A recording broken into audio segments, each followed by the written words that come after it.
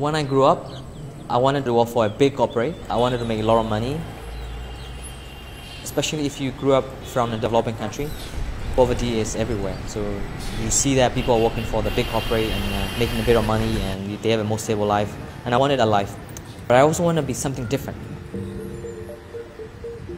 This is the Seed Stars World Competition. Welcome. Yangon is the first city that we are visiting this year.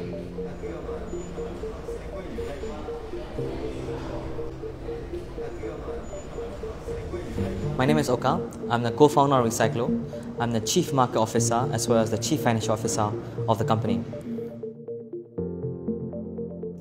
The cause that I feel strongly about is environmental issues and global warming. So right now at the moment in Myanmar, in around the world, global warming is real. And you also have a huge environmental problems happening around the world, especially in the developing country.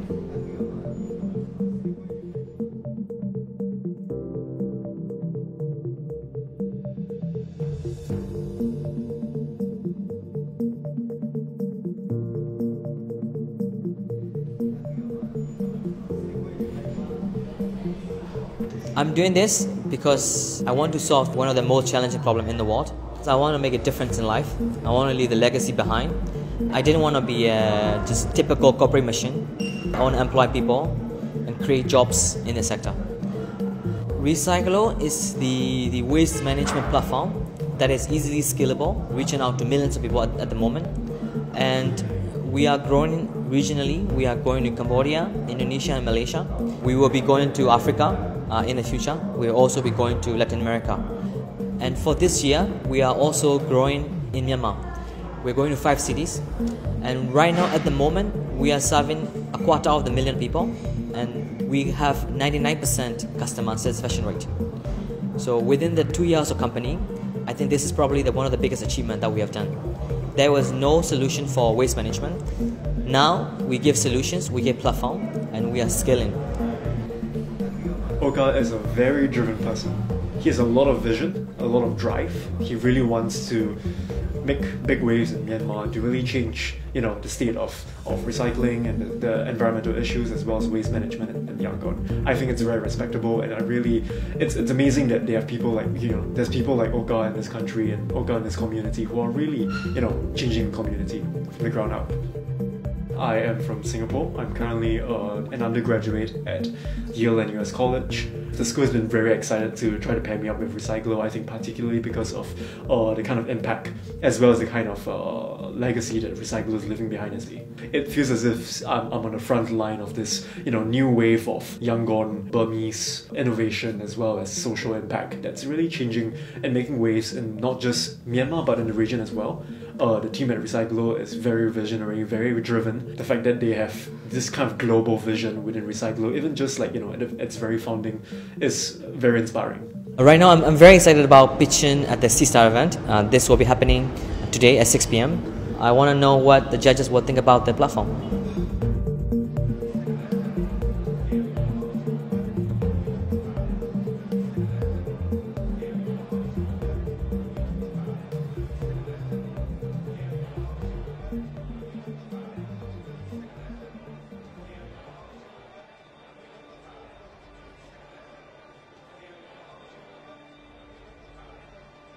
What's your operation cost right now? We have 50 to 60% margin, uh, minus the subscription.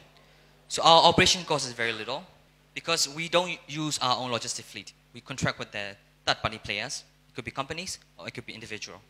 And we also don't take the risk, so we have no asset. We only have a software and an excellent team to run. So if let's say you look at expanding to Indonesia and Cambodia and yeah. Myanmar itself, how much of this opportunity can you get by, let's say, 2020? Uh, above 30 billion dollar. That's uh, because Indonesia is a huge market, uh, and you have you know a nearby country like which speak the basically the same language, Bahasa Melayu in Malaysia.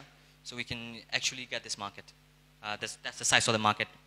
And of, of that, how much would you want to have?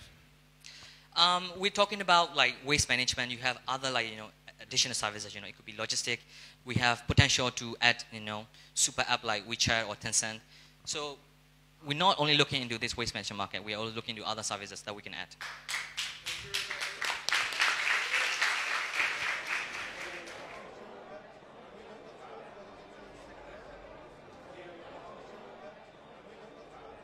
And now is the moment that everybody's expecting. So who will be the winner of Seed Stars Yangon 2019? RecyGlo!